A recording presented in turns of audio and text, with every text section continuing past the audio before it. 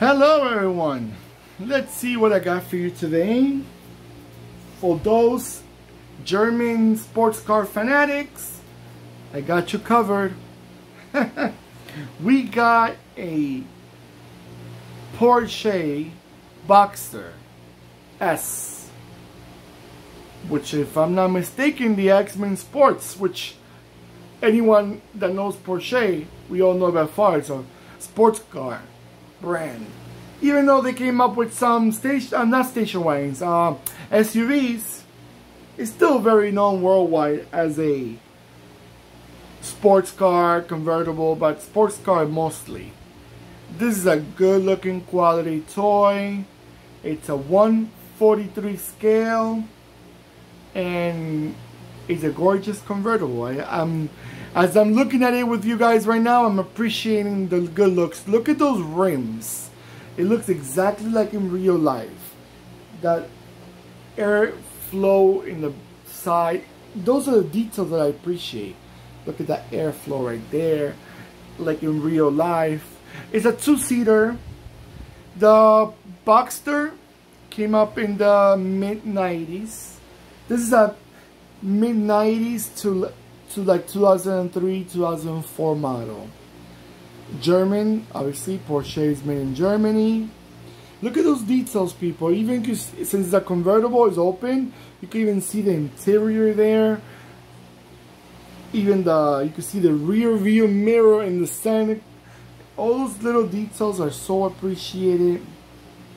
The bright white color it stands out with those headlights, those, I mean tail lights, those big tail lights. It says Porsche right there, people, so you know exactly that you're driving, not Porsche, I'm sorry, it says Boxster. That's the Porsche logo right there in the hood. It's a good looking toy, beautiful quality. If I'm not mistaken, this is one of the cheaper Porsches back in the, when it came out was more, more, more or less the more accessible Porsches, the Boxster.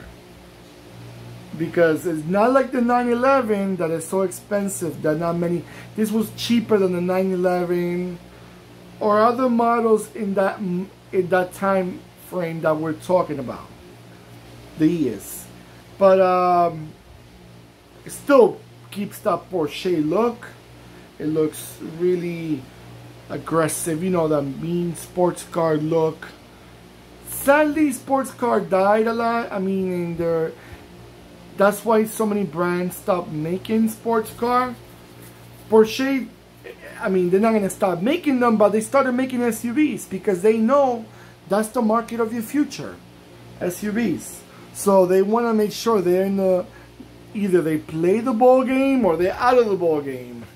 So they want to make sure they keep themselves active and known. Even Lamborghini is making SUVs. So, Ferrari made a sedan. I remember I had a four-door hatchback. I mean, sports car, but it was still a four-door.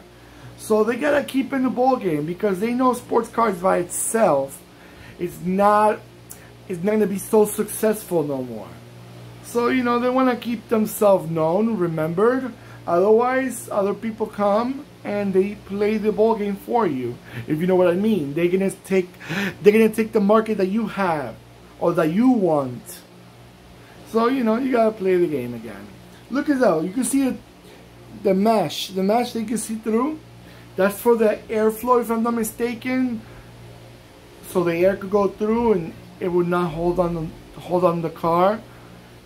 Since it's a convertible, you gotta put all these little uh, security features, especially when it's a fast convertible. You want to make sure it's a safe one too.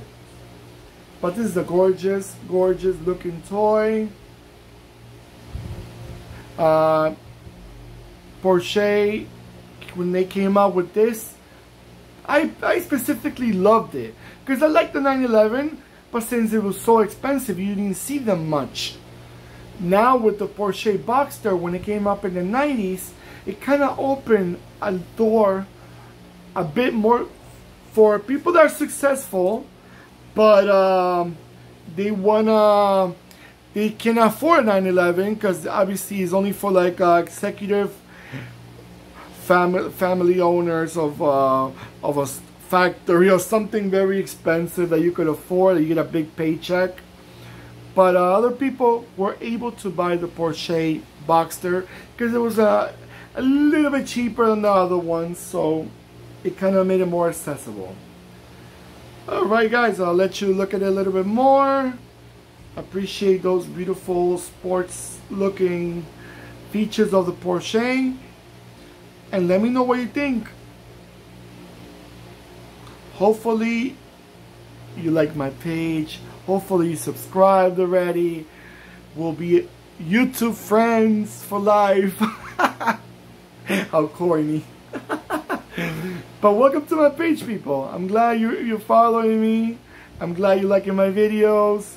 And click that bell next to the subscribe button. It will let you know when I'm posting more videos. Stay safe. Take care. Goodbye.